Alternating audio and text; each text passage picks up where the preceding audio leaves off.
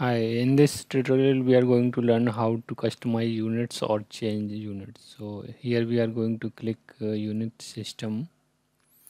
So you can see number of unit uh, systems are given here.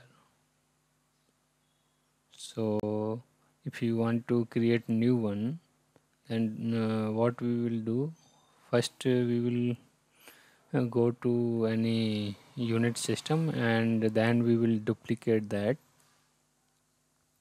so now we have duplicated this unit system and uh, if you see right side this uh, we can change the angle uh, right now it is radian to now we are changing degree and length meter to mm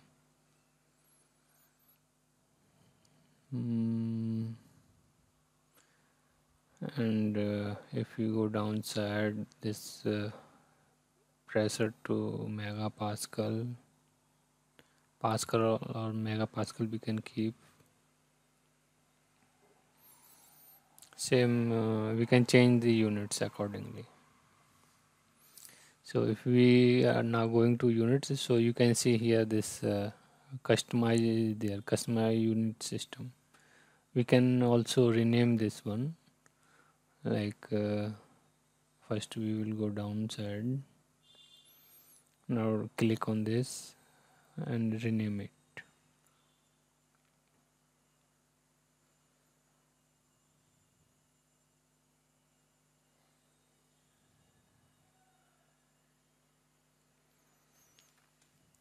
Okay. Uh, if you can see there are three column B C and D B is showing like this is the default one and C is uh, showing like uh, this unit system has been used for current project. And if you click D then it will suppress that unit system. So in right now HMB is the default and for this project also unit system.